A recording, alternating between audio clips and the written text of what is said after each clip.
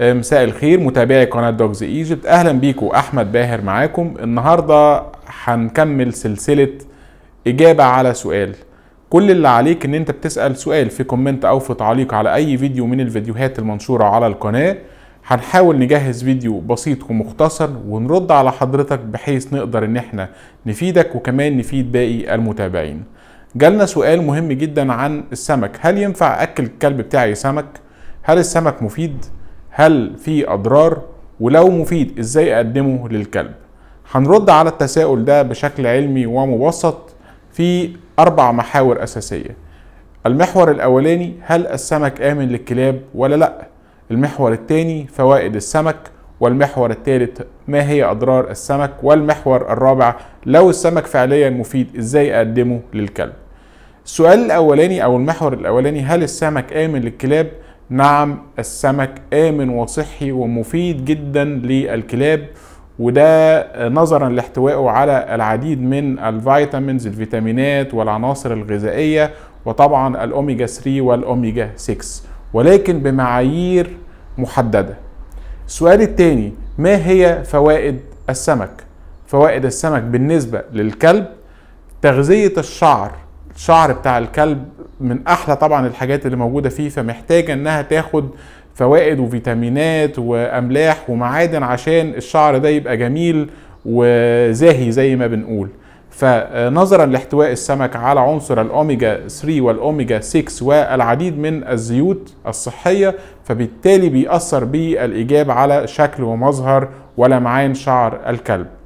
النقطة اللي بعد كده إن هو بيقلل من ترسيب الدهون في جسم الكلب فبالتالي بيقلل من مشاكل الأمراض القلبية ومشاكل انسداد الأوعية الدموية عند الكلب. هتقول لي هو الكلب بيجي له مشاكل في في القلب؟ الكلب زي الإنسان بالظبط ممكن يجي له انسداد في الشرايين أو الاوعيه الدموية وكمان ممكن يجي له أمراض قلب زي الإنسان بالظبط. كمان السمك بيزيد من مناعة الكلب وبيزود فرصة الكلب في النجاة من إصابته من الأمراض والفيروسات والبكتيريا المنتشرة طبعا دلوقتي أو في عصرنا بشكل كبير جدا ونتيجة اختلاط الكلب ب يعني كلاب تانية ممكن تكون مصابة بأمراض فبالتالي محتاج أن العناصر الغذائية اللي الكلب بيحصل عليها من الغذاء تكون قوية جدا وتقدر أنها تعزز الجهاز المناعي. النقطة اللي بعد كده أنها أكلة السمك أو وجبة السمك بتزيد من آه الطاقة بتاعت الكلب الإنرجي بتاع الكلب وكمان بتزود النشاط بتاعه. يعني هتلاقي إن الديلي روتين بتاعه أو حركته اليومية ونظامه اليومي بقى فيه حيوية ونشاط. فلو الكلب بتاعك حاسس إن هو كسلان حاسس إن هو يعني بعافية شوية فأنت محتاج إن أنت تعدل النظام الغذائي ومفيش ما يمنع إن أنت تدخل الأسماك بالطريقة اللي إحنا هنقول آه عليها. كمان من فوائد السمك للكلاب هي تقوية الذاكرة وحاجة بنسميها المواطن العصبية داخل المخ فبالتالي بتزيد من نسبة استيعاب الكلب بتزود ردود أفعاله بتحسن استقباله للتدريب وسرعة التدريب بتاعه هتلاقيها إنها تبقى أحسن.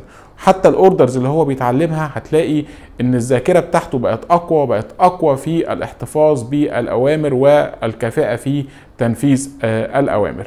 وكمان من أهم فوائد السمك إنها بتساعد على امتصاص الفيتامينز اللي موجودة في باقي العناصر الغذائية أو في باقي الوجبات اللي أنت هتديها للكلب.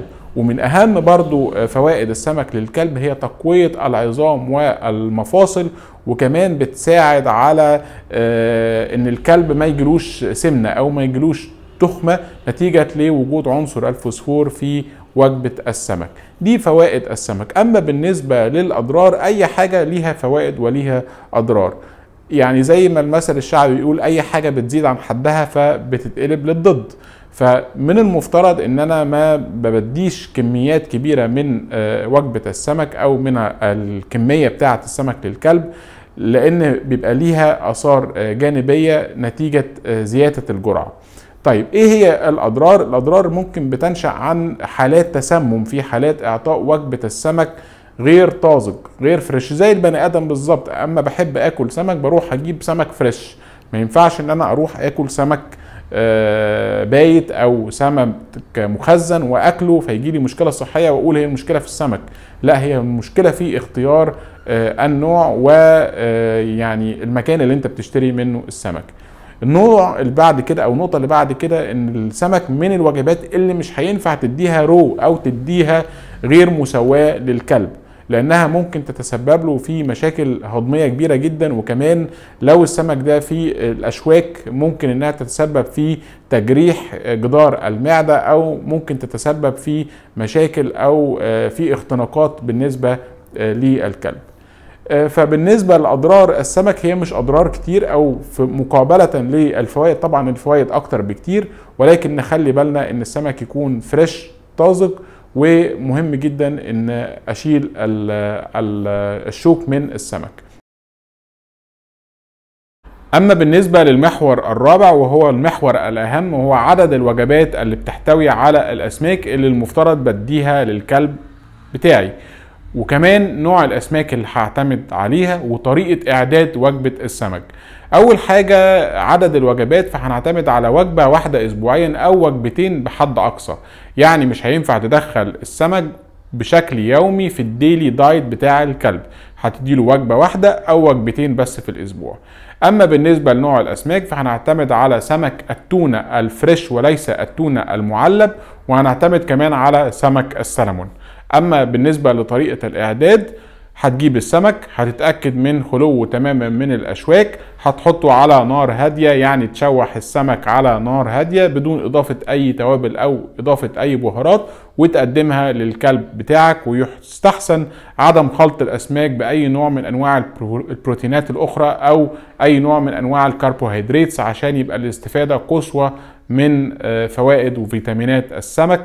زي ما اتفقنا اسأل وإحنا هنرد عليك في أسرع وقت ممكن. اكتب سؤالك دلوقتي في كومنت وهنرد عليك بفيديو مفيد ومختصر بإذن الله.